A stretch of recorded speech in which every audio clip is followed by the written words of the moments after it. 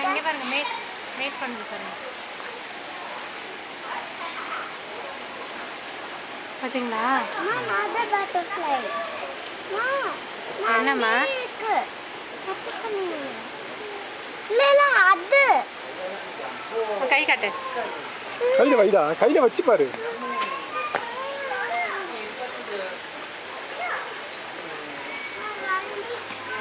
இங்கே பாரு.